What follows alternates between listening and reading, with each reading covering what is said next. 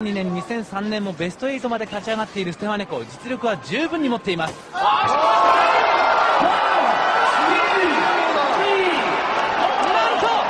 と鮮烈のノックアウト勝利すごい KO ですね素晴らしい後ろ回し蹴り一戦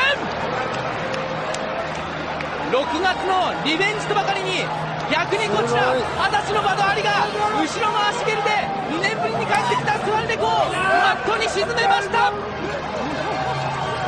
やー超新星もうニュースター誕生ですね。そうですね。さあのりこさん、はいこのバドハリ二十歳のデビュー戦素晴らしいものでした。いやもう目に焼き付きましたね。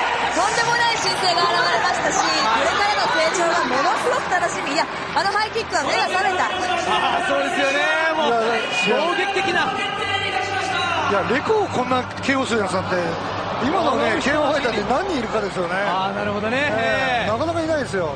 しかし完璧にマットに沈めてみせましたバドハリ。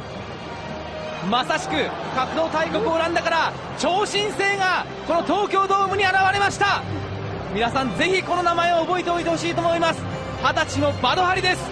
これからアーツ、ホースト、レミーのようにこの K1 新世代をどんどんどんどん奪っていく。そして勢いに乗っていく。そういったファイターとなるでしょう。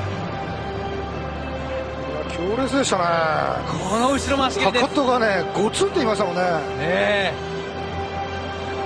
とにかくここまでの戦績だけでなくコメント自体